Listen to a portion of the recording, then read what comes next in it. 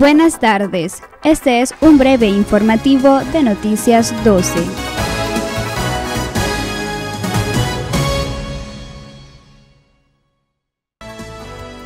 Nicaragua recibió este mediodía 625.920 dosis de vacunas AstraZeneca a través del mecanismo COVAX y este fin de semana arribaron 1.440.000 dosis de vacunas Sputnik que vendrán a reforzar el calendario de inmunización. Transportistas piden que el congelamiento de precios del combustible sea por ley.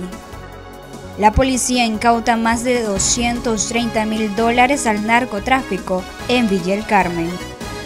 Según médicos, los casos de diabetes en el país han incrementado en personas jóvenes.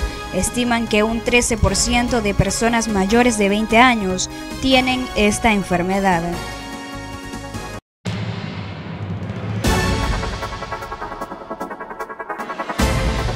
Espere la ampliación de esta y otras informaciones a las 6 de la tarde.